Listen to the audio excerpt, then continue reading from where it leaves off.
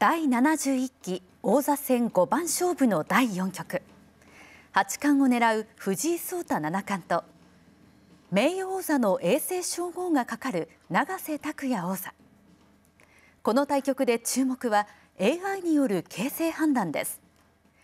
終盤永瀬王座が99%と優勢でしたが藤井七冠の一手で形勢逆転。AI 予想により将棋を知らなくても勝負の行方がわかるためより多くの人が大逆転劇を楽しむことができました。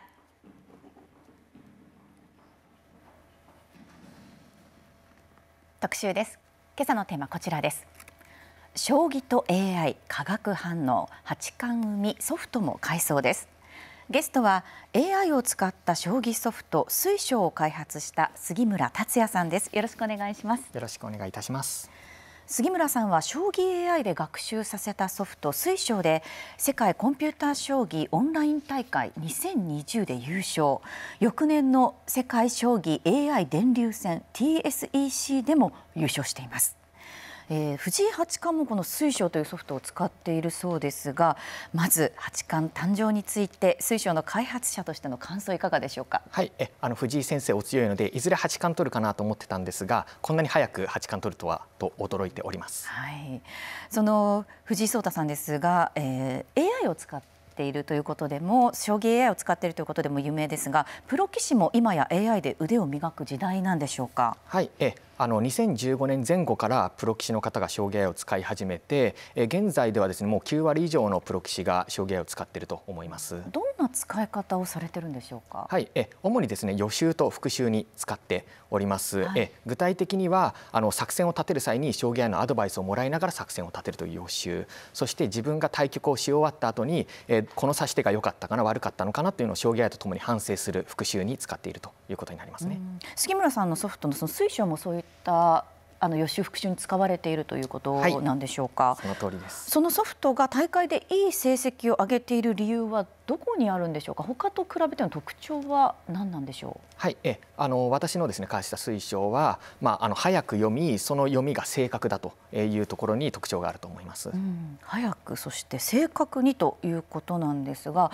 ではその特徴をどういうふうにそれが強さになるということですよね。AI 将棋を使ったその AI を使った将棋ソフトというのはどのように強くしていくんでしょうか？はい。えあの将棋 AI はあの主に2つの機能が重要でございまして、うん、1つがあの局面を読み進めていく機能そして、えっと、読んだ手を評価するという機能が重要になります、はい、えこの2つについて、え開発者はプログラミングを、えしていきます、うん、えであの読みは、えっと、早くですねえあの例えば1秒間に1億手読めるのが推奨ということなんですけれども、まあ、早く読むというところ。そして読んだ先の手についてこれが勝ちなのか負けなのかというのを判別するという機能をあのいわゆる AI えあの機械学習によって局面のデータをたくさん学習することによって勉強しています。うん、それについてあの開発者は、まあ、基本的にはルールさえ知ってれば良いえ将棋が強くなくても開発できるというのが、まあ、AI の特徴というかですね、まあ、面白いところかなと思います開発者はこのここをプログラミングするということですよね、はい、プログラミングするとその後はもう